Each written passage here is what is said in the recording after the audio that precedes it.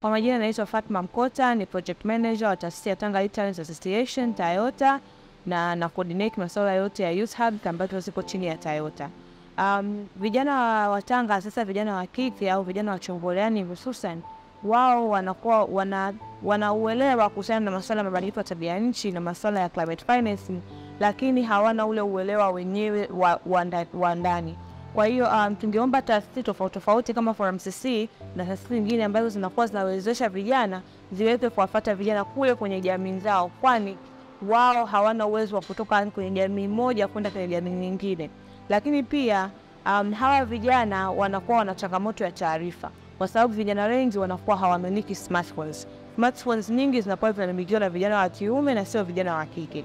Kwa hiyo kama taarifa hizi za ambazo za FAIRDB, taarifa za donors wowote wale ziwe zinafika katika ngazi ya kata na ngazi ya mtaa, kwamba kule ndo wao wana uwezo wa kupata taarifa kwa uharaka kuliko kuliko taarifa zikiwa kwenye maswala ya tovuti na medias.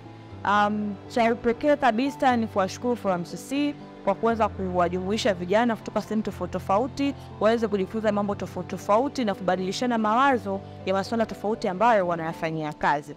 Hivyo basi na vijana sisi tu, tuwe tunapata tuweze kupaza sauti, tuwe na sauti moja ya kuweza kuomba maendeleo na pia ya sisi wenyewe pia kujimotivate kuji, ili kufikia malengo yetu na dreams zetu. Asante.